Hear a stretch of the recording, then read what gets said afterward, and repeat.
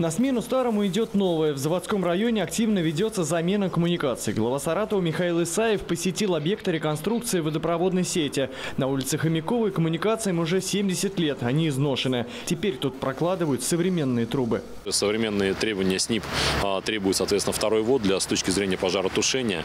Плюс а, достаточно серьезное развитие микрорайона планируется. Сейчас снос аварийного жилья осуществляется в данном а, микрорайоне. Поэтому принято было решение о включении данного объекта в инвестпрограмму с увеличением диаметра до 315 миллиметров полиэтиленовой трубы, с увеличением объема, соответственно, а, прокладки трубопровода, а, включая а, закольцовку данного микрорайона. Когда работы будут закончены, к коммуникациям получат доступ и жители поселка Воробьевка, где расположены земельные участки многодетных семей. На огородный объект уже достроили. Теперь более 130 тысяч жителей заводского смогут забыть о постоянных авариях. В год здесь случалось до 30 прорывов. Мы понимаем, что половина заводского района находится либо без воды, либо огромный объем воды с вытеканием на Новоастраханское шоссе.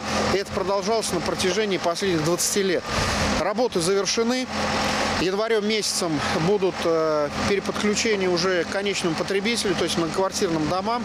И вот этот фрагмент э, длиной э, почти километр проложен с гарантией минимум 50 лет работы. Также Михаил Исаев посетил испытательную лабораторию по контролю сточных вод городских очистных сооружений. Ему показали проведенные работы по реконструкции, ремонт помещений и новое оборудование. Роман Базан, Алексей Чудин, Саратов, 24.